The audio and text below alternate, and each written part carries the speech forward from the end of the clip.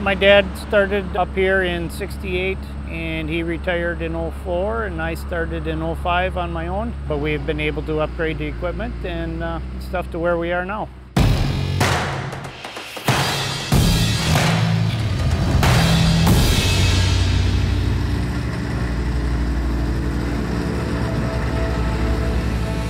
I was looking for a mid-size grader because the road style graders are, are too big for what we do. And I do believe I found a perfect machine for it because it's been, been very awesome for us so far this year. The 836 is awesome. Enough power, enough weight to the size of the machine we need. We're anywhere from residential driveways, so we need to be down to a 10 foot to 9 foot passes. And then we get up to some bigger parking lots where the bigger machine helps with the horsepower.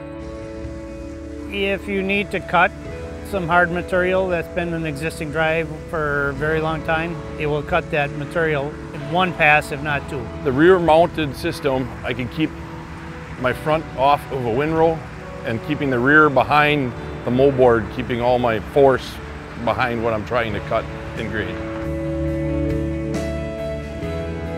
I also need to get in driveways with trees overhanging, single lane, 10 foot pass, and with something like this, I can still get in those driveways versus the open parking lots and roads.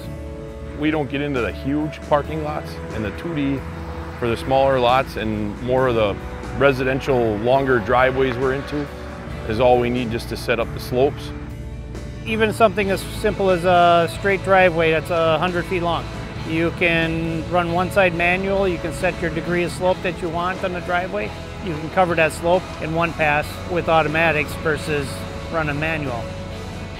The Leica system controls our, our grade and slope and it'll lock one side in, setting my grade at 1% so I don't have to watch both sides of the moldboard.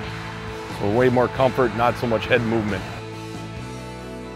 Every time you grab the lever, you can feel that hydraulic pressure and you can feel when your moldboard's moving, not relying on the other controllers that I've had where you don't feel that you're relying a lot on just movement and looking. With the ProCare system, it's somebody else watching over what needs to be done with the machine. It sends the codes and messages back so we know what the problem is, we can determine what it is and get it taken care of. If you can start with something good and it's your own stuff, you know the history of it, you can take care of it better and it hasn't been abused. You know what, what's happening with it and it seems to last longer. So the life of the machine for the business is going to be greater than it would be with something used and not know the history of it